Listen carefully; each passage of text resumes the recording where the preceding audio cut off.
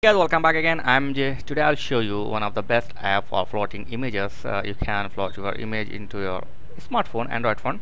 So it's free and available in your google play store. So go to google play store and download this app floating images. After you download just open this app okay? And here you can see it will take your gallery picture automatically. So just hold here and you will get some setting.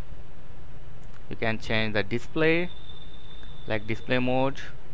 Okay keep your floating images. And slideshow interval uh, take 10 seconds yeah it's enough. And speed yeah you can take fast because slow is very it will come very slow.